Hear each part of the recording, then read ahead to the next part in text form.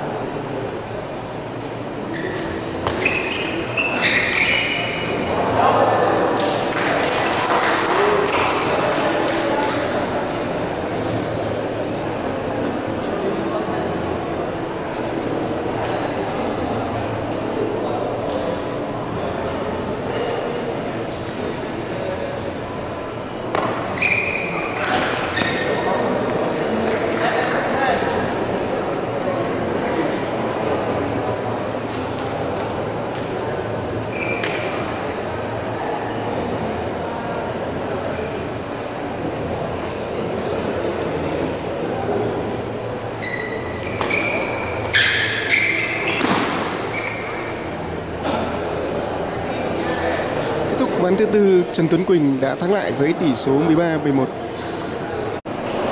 Trận đấu tiếp tục ván thứ năm, Đoàn tuyến cốc giao bóng.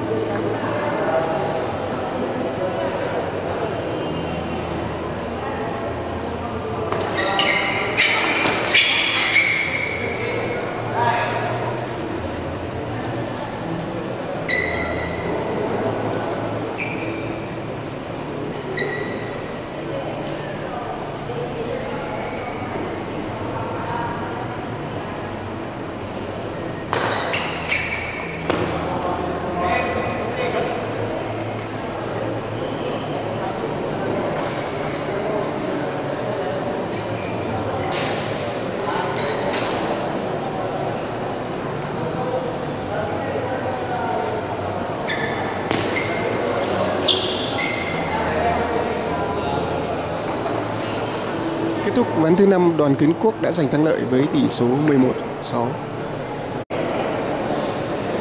Đây là ván thứ 6 của trận chung kết đơn nam giải vô địch bóng bàn Đông Nam Á lần thứ 7 năm 2010 giữa hai vận động viên Việt Nam, Trần Tuấn Quỳnh và Đoàn Kiến Quốc.